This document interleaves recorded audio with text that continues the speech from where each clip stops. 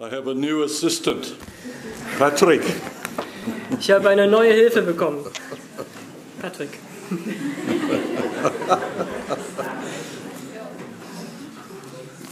You know that I have many stories, Ihr wisst, dass ich viele Geschichten zu erzählen habe and my mind is divided this morning und na, mein Verstand ist irgendwie geteilt heute Morgen. I have a really good story from New Guinea, Ich habe eine richtig gute Geschichte aus ähm, Neuguinea and I have a very good story from Washington, D.C., und ich habe eine sehr ge äh, gute Geschichte aus Washington, D.C., where I lived for 25 years.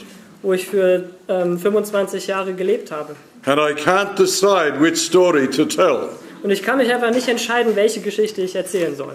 So I said, I said to myself, I will take a vote this morning. Und so können wir jetzt eine Abstimmung machen.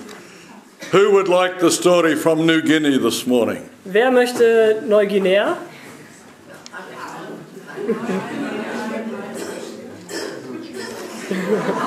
Who would like the story from Washington, D.C.? Oh, Wer well, möchte Washington? Ja. okay. Then we have a Washington story. Dann hören wir jetzt die Geschichte aus Washington. So, Washington, D.C. has many big corporations Also Washington DC, da gibt es viele verschiedene Firmen and also many government departments. und viele Regierungseinrichtungen. In fact, the government departments seem to take up half of the city. Und diese Regierungseinrichtungen machen irgendwie die Hälfte der Stadt aus. And I started to think to myself, Und ich habe mir jetzt gedacht, maybe we should have ministry in these corporations. vielleicht sollten wir ähm, jetzt Verkündigungen in diesen ähm, Firmen machen and in these government departments. und in diesen Regierungseinrichtungen. The government in America is very open. Ähm, die Regierung in ähm, Amerika ist sehr offen. You want to have a Bible study in a government department? It's okay. Wenn du in so einer Regierungseinrichtung ein Bibelstudium machen möchtest, ist so. They will give you a room. Ähm, sie geben dir einen Raum, They will help you to advertise it. sie helfen dir sogar, es zu bewerben. All you need is the courage to do it. Alles, was du brauchst, ist der Mut, es auch zu tun.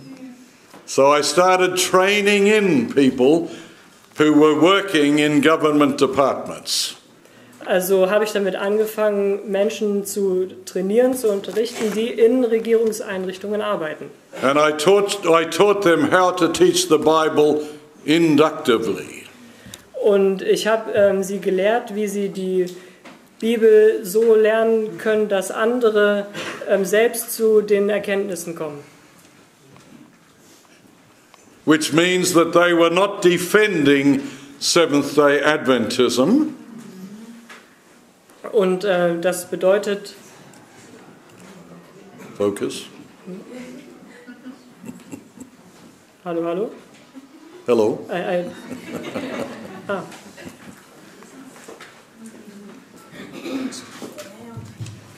Hallo? Could you repeat the last so they, I taught them so they were not defending Seventh day Adventism. Und also ich habe sie so gelehrt, dass sie jetzt ähm, die adventistischen Lehren nicht ähm, verteidigen, But they were leading people to hear the Word of God. sondern sie einfach ähm, so zu führen, dass sie Leute dazu bringen, ähm, das, dem Wort Gottes zu glauben. And we know what happens when people hear the Word of God. Und äh, wir wissen, was passiert, wenn Leute das Wort Gottes hören. They usually want to become Seventh day Adventists. Meistens wollen sie dann siebenten Tagsadventisten werden. So I was not worried about this. Also habe ich mir darum keine Sorgen gemacht. And these ministries began to develop. Und ähm, diese Dienstämter ähm, haben sich dann entwickelt. The best ministry was in the World Bank. Und ähm, dieses beste Amt war in der Weltbank, der World Bank. We had a young Lebanese woman, Ähm, wir hatten eine junge, what kind of woman? Lebanese, Ah, libanesische Frau. and she was on fire for God. Und sie war voll Feuer für Gott. And she had a gift of praying with people. Und sie hatte die Gabe, mit ähm, Menschen zu beten and weeping with people. und mit ihnen zu weinen. She loved people, Sie hat die Menschen geliebt, but she could not teach the word. aber sie konnte das Wort Gottes nicht lehren. And I said, That's okay. I will teach the word, and you be the pastor inside the World Bank. Und dann habe ich gesagt, das ist okay, ich werde das Wort lehren und du bist die Pastorin dann in der Weltbank. This was the beginning of our corporate ministry. Und das war der Anfang von unserem gemeinsamen ähm, oder von unserem Firmendienstamt. By the way, that ministry alone Und nebenbei ähm, allein dieses Dienstamt, In 10 years, we baptized 180 people. Hat dazu geführt, dass wir in ähm, einem Jahr 180 Menschen getauft Just haben. in the World Bank alone. Allein in der Weltbank. So I started looking at the Department of Agriculture. Und dann habe ich meinen Blick jetzt auf ähm, die Einrichtung für Landwirtschaft gerichtet. A very large federal government department. Eine sehr große Regierungseinrichtung. Three whole blocks of Washington, D.C. devoted to the Department of Agriculture. Drei ganze Häuserblöcke in Washington sind dem gewidmet. Now, farming is very big in America. Also Landwirtschaft ist sehr groß in Amerika. And I made a list for myself of all the Seventh day Adventists who were working in the Department of Agriculture.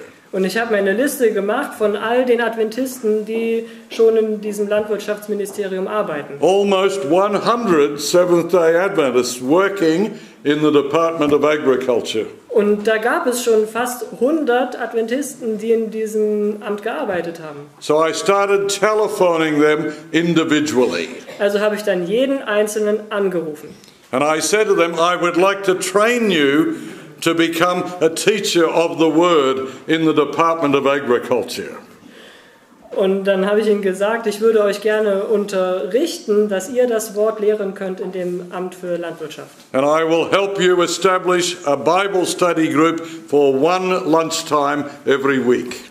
Und ich helfe euch, einen Bibelstudienkreis ähm, einzurichten, der einmal in der Woche stattfinden soll. And people had so many excuses. Und die ähm, Menschen haben dann alle möglichen Entschuldigungen vorgebracht. Some people said, Well, I am professional. Eine, einige haben gesagt, also ich bin ganz professionell. I said, What are you saying?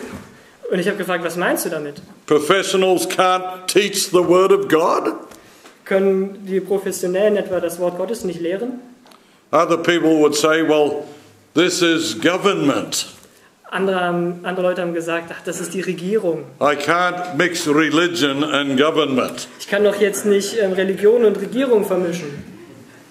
I said, The government will help you to do this. Und ich habe gesagt, die Regierung wird dir helfen, das zu tun. They will give you a room to meet in. Sie geben dir sogar einen Raum, wo ihr euch treffen könnt. They will advertise your meetings. Sie werden eure Treffen sogar bewerben. The government has no problem. Die Regierung hat damit kein Problem. So I telephoned nearly 100 people, Also habe ich diese 100 Menschen angerufen and I could not get one, und ich habe nicht einen dazu bekommen. not one person who was willing for me to train them in. Nicht einer, der sich ähm, dazu bereit erklärt hat, dass ich ihn lehren und unterweisen konnte. So I was a little bit discouraged with the Department of Agriculture. Also war ich schon mal ein bisschen entmutigt, was das Amt für Landwirtschaft anging. And about three months later, Und ungefähr drei Monate später, my telephone rang. da klingelte mein Telefon. There's a woman on the telephone. Da ist eine Frau dran She has a very cultured English accent. und sie hat einen sehr kultivierten englischen Akzent. And I said to myself, I think she's from the Caribbean. Und da habe ich mir selbst irgendwie gedacht, sie ist bestimmt ähm, von der Karibik. Because there are some islands in the Caribbean where you think you are in England. Da gibt es ein paar Inseln in der Karibik. Wenn du dort bist, dann denkst du, du bist in England. And she says to me, Are you the man who trains people into corporate ministry? Und dann hat sie mich gefragt, bist du der Mann, der Menschen ähm, unterrichtet, in Firmen ähm, zu verkündigen? And I said, I am the man. Und dann habe ich gesagt, genau der bin ich. She said, Well, I work in the Department of Agriculture. Und dann sagt sie, nun, ich arbeite in dem Amt für Landwirtschaft. So I raised my hands in the air and I said, Hallelujah. Dann habe ich meine Hände gehoben und Halleluja gerufen. She said, Don't get too excited. Und sie hat gesagt, jetzt ähm, sei nicht zu begeistert. She said, I'm not one of your people. Ich gehöre nicht zu deinem Volk. I said, What do you mean, my people? Ich habe gefragt, was meinst du mit meinem Volk? Well, she said, Whatever you are, I am not. Sie sagte ja nun, was immer du auch bist, das bin ich nicht. I said, Do you mean Seventh day Adventist? Und ich fragte, meinst du etwa siebente Tagsadventisten? Yes, yes, she said, That's it. I am not one of those. Sie sagt, ja, ja, genau das meine ich. Da, zu denen gehöre ich nicht. Well, I said, For crying out loud, What are you? Und dann äh, habe ich ge gefragt, ja, wa was bist du denn dann? She said, I am a Methodist. Hat sie gesagt, ich bin eine Methodistin. And I am very proud of being a Methodist. Und darauf bin ich sehr stolz. So she said, I guess you probably won't train me. Und dann hat sie gesagt, und deshalb wirst du wahrscheinlich mich jetzt nicht unterweisen. So we have a little funny expression in English. Und bei uns im Englischen gibt es da einen, einen witzigen Ausdruck. There's a nursery rhyme in English for the, for the kinder. Ähm, da gibt es einen Witz über, über Krankenschwestern. Ähm, ne? Nursery? Äh, einfach ein Reim, ein lustiger Reim. And in English it says, and this was before we had dollars and cents. Und im Englischen ähm, heißt es, und das war bevor wir, vor, bevor wir Dollar und Cents hatten als Währung, The English had coins, da gab es Münzen and the large copper coin was a penny, und die, die größere davon hieß ein Penny oder and Pfennig the smaller copper coin was a halfpenny. Und, das, und die kleinere Münze remember hieß that? Hey Penny, äh, ein kleiner And so there's a, a nursery rhyme that says, if I can't have a penny, then a halfpenny will do. Und dieser Reim geht ungefähr so, dass äh, wenn ich jetzt schon keinen Pfennig haben kann, dann tut es auch diese kleinere Version des Pfennigs. So I said to this woman, if I can't have an Adventist, then a Methodist will do. Und dann habe ich zu der Frau gesagt, naja, okay, wenn ich jetzt keinen Adventisten in der Weltbank haben kann, dann tut es auch eine Methodistin. She said, so you would train me? Und dann hat sie gesagt, also wirst du mich unterweisen? I said, yes, I will train you. Und dann habe ich gesagt, ja, natürlich werde ich das machen. But I teach people to speak inductively. Aber ich lehre ähm, die Menschen, dass sie ja, induktiv lehren. which mean you lead people to self discovery. Das heißt, man ähm, bringt die Leute dahin, dass sie ähm, die Wahrheit in Gottes Wort selber entdecken. So you will not be making little Methodists out of everybody. Also machst du jetzt keine kleinen Methodisten aus jedem Einzelnen. And she said, I will not be making little Adventists either. Und hat sie gesagt, ich mache aber auch keine kleinen Adventisten aus jedem. This woman's very, very sharp. Die, diese Frau war sehr äh, gerissen, ja. She came from Jamaica, Ähm, sie kam aus ähm, Jamaika. the old fashioned Methodist from Jamaica. Ähm, diese altgeprägten Methodisten aus Jamaika. And from my experience, they are very godly people. Und ich denke, es sind ähm, sehr ähm, dem Herrn hingegebene Menschen. And this woman turned out to have the strongest gift of teaching that I had ever seen in Washington, D.C. Und es hat sich herausgestellt, dass diese Frau eine, die, die größte Gabe des äh, Lehrens hatte, die ich jemals in Washington gesehen habe. So I told her to put a little notice on the notice board Also habe ich ihr gesagt, sie soll eine No- Notiz auf ihrem ähm, Schreibtisch hinterlassen, that for one hour on Wednesday from 12 till 1, the lunch hour, dass ähm, einmal in der Woche am Mittwoch äh, zur Mittagszeit there will be a non denominational Bible study. wird es eine ähm, Bibelstunde geben, die nicht zu einer Demo Denomination, ähm, die nicht einer Denomination Open to everybody from any church, Und die ist offen für jede Gemeinde, jede Kirche. even open to Muslims and anybody who wants to come. Sogar für Muslime und jeden, der kommen möchte. And I said to her, I will teach for three months, Und ich habe ihr gesagt, ich werde dort für drei Monate unterrichten. and you will watch me. Und du wirst mir zusehen. And then after three months, you will start teaching, Und nach drei Monaten wirst du das übernehmen. and I will watch you. Und dann werde ich dir zusehen. And when I am satisfied with you, Und wenn ich zufrieden mit dir bin, this will be your ministry. dann wird das dein Dienstamt werden. She said, Okay. Sie sagte in Ordnung. So after one month, Und nach einem Monat I came to the, to the department for the Bible study, bin ich dann ähm, zu diesem Ministerium hingegangen für die Bibelstunden. and she looked at me and she went like this. Und sie hat mich angesehen und hat nur so gemacht. She said, I don't need you anymore. Sie hat gesagt, ich brauche dich nicht mehr. I am teaching the Bible study. Ich werde jetzt die Bibelstunden machen. And so she started teaching after one month. Und so hat sie schon nach einem Monat damit angefangen. Within six months, she had two groups every week, Nach sechs Monaten hatte sie schon zwei Gruppen jede Woche. 30 to 40 people in each group. 30 bis 40 Leute in jeder Gruppe. So several months went by, Und dann vergingen wieder einige Monate. and whenever I was in the city, she would ask me to come in and teach for her. Und immer, wenn ich in der Gegend war, in der Stadt, dann hat sie mich gefragt, ob ich nicht dazukommen möchte und unterrichten möchte. And about six months later, I was attending my local church in Washington, D.C. Und weitere sechs Monate später bin ich zu meiner Gemeinde gegangen in Washington. And I'm sitting in church and I'm looking around to see who's there. Und ich sitze so in der Gemeinde und gucke herum, wer alles da ist. And I was very surprised. Und ich war sehr überrascht. This woman is sitting there. Diese Frau sitzt dort. And I had never told her that I was a Sabbath keeper. Und ich habe ihr niemals gesagt, dass ich ein Sabbathalter bin. Anyway, she saw me and she ran up and she gave me a big hug. Und immer als sie, wenn sie mich gesehen hat, kam sie und hat mich umarmt. And she introduced me to a man and a woman who were sitting with her. Und sie hat mich dann einer Frau und einem Mann vorgestellt, die mit ihr dort saßen.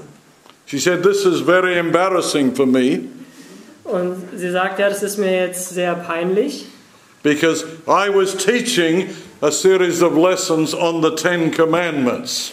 denn ich habe eine Serie unterrichtet über die zehn Gebote. And these two, Und diese zwei hier, they started asking me about the seventh day Sabbath. und sie haben begonnen, mich zu fragen über den siebten Tag Sabbat. And they did some research and found out that it's Saturday, not Sunday. Und sie haben selber Forschungen angestellt und herausgefunden, dass es der Samstag und nicht der Sonntag ist. So they asked me if I knew any churches that went to church on Saturday. Und dann haben sie mich gefragt, ob ich irgendwelche Kirchen kenne, die den Gottesdienst am Samstag abhalten. And she said to me, You never told me you go to church on Saturday. Und dann hat sie mir gesagt, also du hast mir nie erzählt, dass du samstags in die I Kirche said, gehst. You never asked either. Dann habe ich gesagt, ja, du hast ja auch nie gefragt. Anyway, she said, I decided to bring them along to a Saturday keeping church. Und hat sie gesagt, und deswegen habe ich mich entschieden, sie mal in eine samstags haltende Kirche zu bringen. So I raised my hands in the air Also habe ich meine Hände in die Luft gehoben, in the middle of church. in der Mitte der Kirche. I said, Thank you, God. Ich sagte, danke Herr.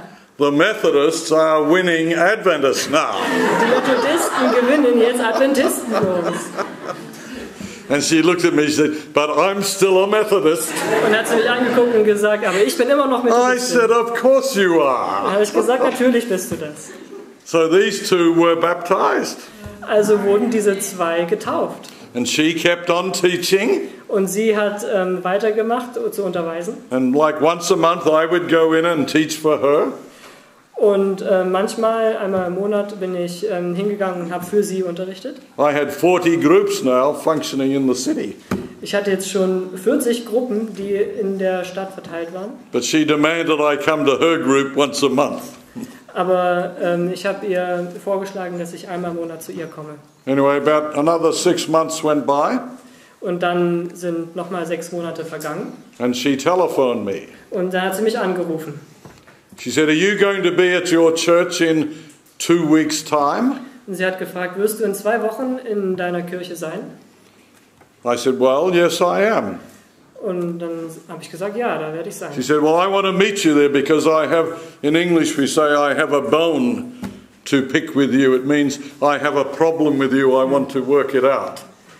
Und da hat sie gesagt, ähm, ich habe da ein schweres Anliegen und das äh, muss ich mit dir unbedingt besprechen. I said, Okay, I'll meet you there. Dann habe ich gesagt, okay, wir treffen uns dort. So when I saw her, she said to me, You tricked me.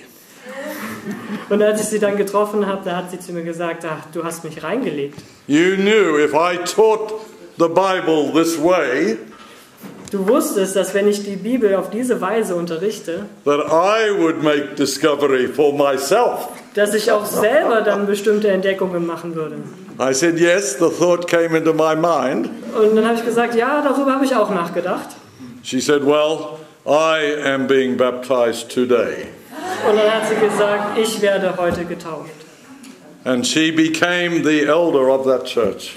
Und sie ist Älteste dieser Kirche geworden. Still there as an elder in this big church. Und sie ist immer noch dort als Älteste in dieser Kirche. And I look back and I said to myself, how discouraged I was because I could not find an Adventist. Und jetzt blicke ich zurück und ähm, denke daran, wie entmutigt ich zu Beginn war, dass ich niemanden finden konnte. And God had a Methodist waiting.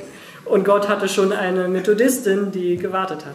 And my eyes opened as to how many beautiful children has outside of Adventism. Und meine Augen wurden geöffnet darüber, wie viele Kinder Gottes in anderen Kirchen sind. And we were just talking about this in the lesson this morning Und genau darüber haben wir auch heute Morgen in der Lektion gesprochen. of how we need to find ways to build bridges to them. Darüber, wie wir äh, Wege finden müssen, Brücken zu ihnen zu bauen. so we can lead them to discovery of beautiful things in the Word of God. sodass wir sie dahin führen können, dass sie selber wundervolle Dinge im Wort Gottes entdecken. Even though it's been 10 years since I left Washington, D.C., Auch wenn es jetzt schon zehn Jahre her ist, dass ich Washington verlassen habe, the ministry groups continue to operate. ähm, bestehen diese Gruppen dort immer noch fort. So that's my Washington story for today. Also das ist meine Washington-Geschichte für heute. Thank you. Dankeschön.